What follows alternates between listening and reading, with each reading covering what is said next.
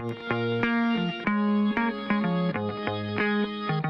to Targa High Country 2016. Now in its seventh year, the stages in Victoria's High Country offer the field of 200 cars a range of unique challenges as they tackle 277 kilometres of the most picturesque and diverse roads Australia has to offer. Every stage has got its own character and you've got to approach it very differently and um, some are fast, some are slow, some are bumpy and that's what keeps bringing you back.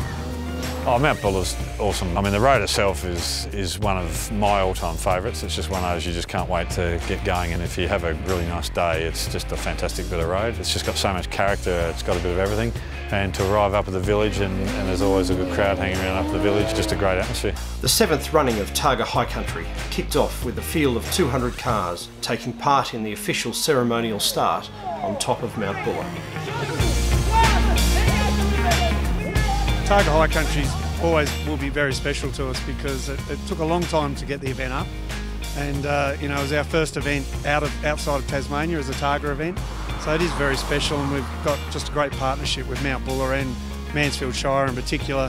You know, they just love the event. The region love the event. It's the second biggest tarmac rally in the world now, so it's been a great success for us. From the first corner, the battle in GT2 was on with Matt Close and Cameron Reeves Porsche, the Viper of Mike Pritchard and Nathan Walker, the Cayman GT4 of Tim Hindy and Julie Winton Monet, the Mustang of Craig Dean and Kate Catford, the Corvette of Steve Johnson and Natalie Ford, the Lotus of Grant Danier and Dale Moscott, and the Commodore of Toby Gill and Matt Smith, all trading top times throughout the day.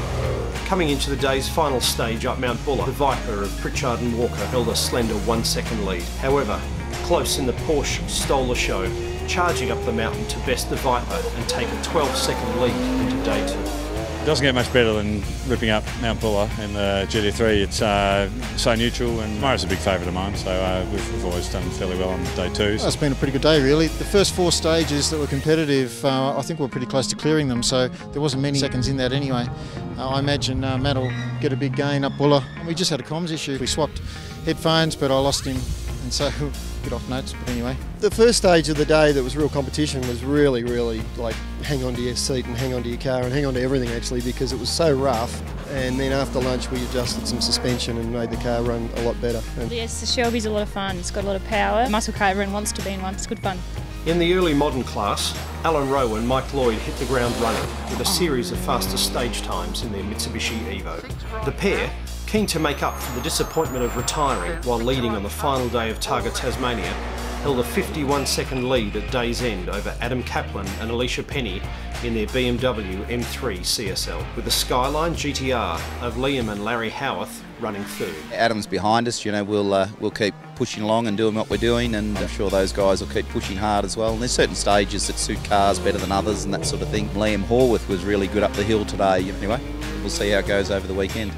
The GT4 class quickly became a battle between Audi and Subaru, with Trevor McLeod and his new, former Targa Tasmania winning co-driver Steve Glenney leading the Audi of Barry Smith and Anthony McLaughlin, with Max Williams and Bruce Bush's similar TTRS holding down third really enjoyable day actually. Yeah, good to get um, first day out of the way, and really happy that the, the little Subi's been able to hold out TTs. Well, we've had a pretty tough day actually. We've got a problem with the engine management system that, cops, that drops it into limp mode.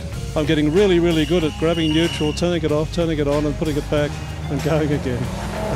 In TSD Trophy, Brian and Justin Marshall's Polo GTI leads the Falcon Ute of Daryl and Peter Marshall by four points. The results of this class are determined by how close the teams can get to a designated stage time that is based on averaging a specific speed over the course of a stage.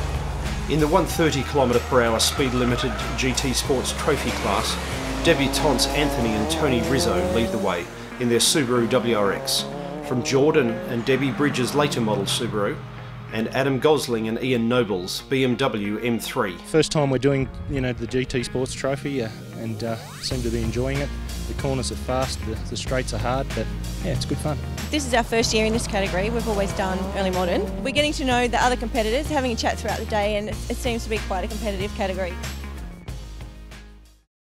The sunshine at Mount Buller all but disappeared from the start of day two, with grey skies and a touch of snow greeting the cars as they set off to tackle the day's six stages, starting with another run down Mount Buller. As the day progressed, the roads dried and conditions were ideal with a battle in GT2 continuing to rage. Matt Close and Cameron Reeves' Porsche and Mike Pritchard and Nathan Walker's Viper broke free of the chasing pack, trading faster stage times over the course of the morning. Behind, Craig Dean and Kate Catford in the Mustang fought over third, with Steve Johnson and Natalie Ford's Corvette. Going into the final day, both fights are separated by a mere second, promising a thrilling end to Targa High Country 2016. This morning I was a bit worried about the wet, but uh, the Viper, I'd not driven in the wet racing before and it was very pleasant in fact. So we pulled a bit of time out of Matt, which was fantastic, and then as the day dried, uh, he managed to pull a little bit back out of us again, but um, overall, I'm pretty pleased. It was pretty tricky early on this morning. It's always pretty hard when it's that cold to start, trying to get uh, temperature in our tyres. So we just had a plan of going out pretty conservatively and just seeing what everyone else was doing in the wet. Mike did some really good times uh, in the Viper in the wet. It obviously suit us if it's as dry as possible because we've got a very hard tyre and that comes into its own in the long stretches. So main thing is we get out there and enjoy the roads really and uh, bring it home in one piece. The GT4 class continues to be a hard-fought battle, with Trevor McLeod and Steve Glenney holding a narrow 26 second lead over the Smith & McLaughlin Audi TTRS, with the two other Neil Buckby Motorsport Subarus waiting in the wings behind. Yeah, it was an interesting day, getting um, a bit of snow early on when we left the mountain and uh, First stage was very, uh, very wet and slippery.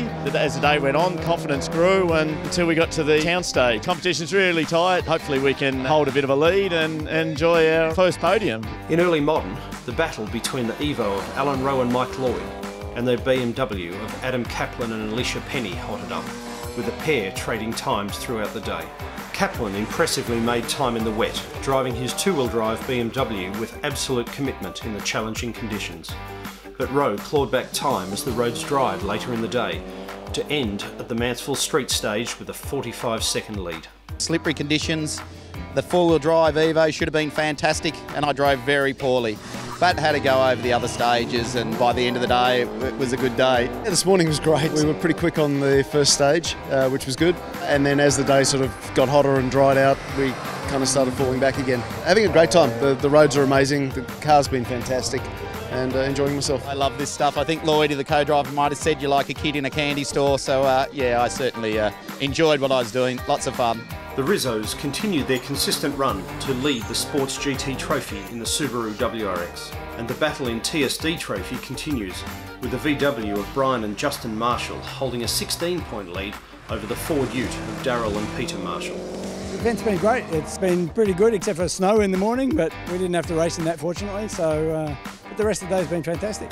Certainly we'll keep the competition tight tomorrow because of the long stages. They're very hard to make time on, so it should sort out the uh, men from the boys, that one. As the crews completed day two, the focus turned to Mansfield, the famous street stage, and Targa Fest. It's great to drive around a town street circuit, if you like. You know, when the public comes out in the numbers that they did to sort of watch it all, you know, you feel real special. Ripper turnout. Yeah, sure. You can't you can't wish for more than this.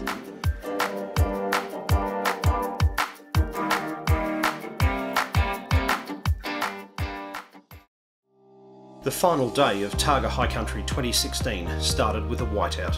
Mount Buller turning on its winter best and dumping a huge amount of fresh snow on the mountain. As people woke to their cars covered in snow, there was a sense of bemusement amongst the crews. Up at Mount Buller, you know, what Mother Nature brings is what Mother Nature brings, and every day is a little bit different. But we thought we'd turn on a little bit of winter just so people get a taste of it today. Uh, this thing's not too bad in the wet, so uh, we're looking forward to it. Snow, however, is an unknown quantity. This is completely rad, isn't it? Wow. I feel like I'm in Snow White and the Seven Dwarfs. In case you're wondering, it's Speedy Dwarf plan is just to survive this Mirimbah, just get through the horrible stuff, and hopefully it finds off a bit later. So I don't expect to be anywhere near the leaderboard on this one. I was hoping for a little bit of dampness, and I think it still could be damp down the mountain a little bit more. So that'll be great for us. Let's keep our tyres in track and a bit of pace. But other than that, no, it's good.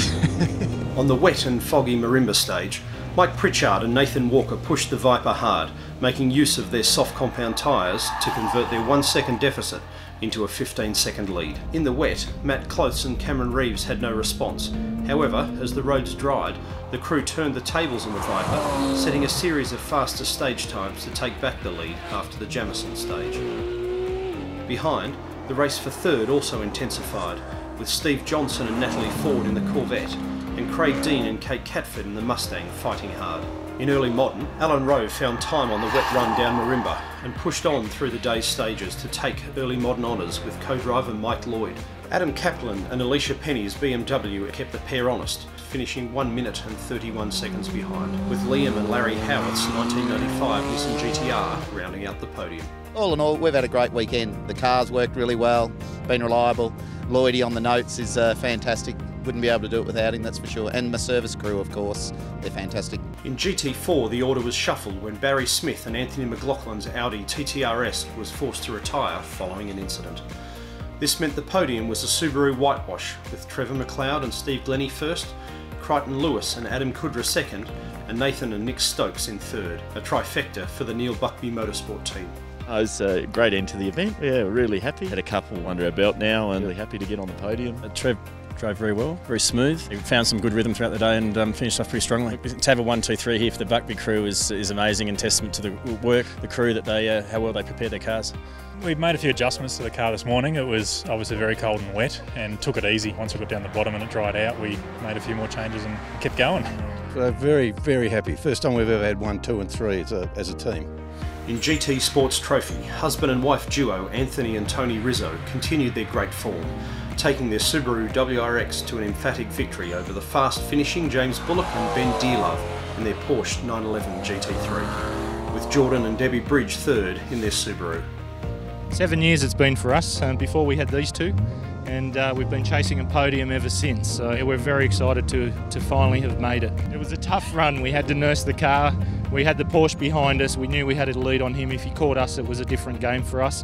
Uh, we were glad to not see him in our rear vision mirror when we got to the top. The TSD Trophy class was taken home by Brian and Justin Marshall. The Polo GTI crew doing enough to hold off Daryl and Peter Marshall's Ford Pursuit Ute, with Jeffrey Morton and Jared Kershaw's Lotus Elise finishing third.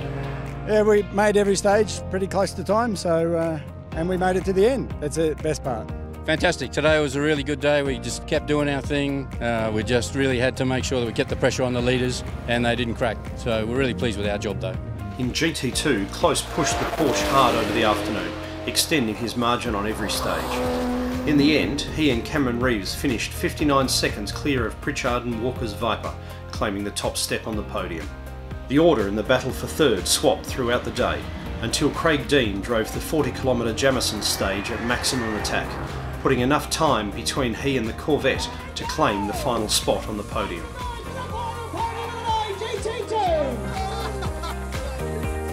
We had a bit of a plan and we stuck to it. Things could have been different had it been a whole wet day because we, we, we struggled with a bit of tyre temp. But Mike shown to be very fast in the wet with a softer tyre and the, the Viper certainly puts down the power in the wet. They're hard stages, they're difficult stages. Matt drove them really well. It's just one of those things of how hard to push and how not how hard not to push, but car looked after us. Matt drove really well, so just a good day. I'm pretty happy to be here actually. Brakemaster Cylinders decided to give us some grief, and so I didn't have much of a brake pedal after the first stage this morning. So it was a very gentle come home, unfortunately. Next time. Real excited. We were uh, had a bit of a bad start this morning, and uh, things just weren't going right. But did a few adjustments, pulled myself together, and Kate called wonderful. It was a bit of a challenge, but I did keep him in line. Had to be hot on the notes because we were really pushing hard on the on the last run up there on Eildon. So it was a great stage. Craig did an awesome job. A lot of fun.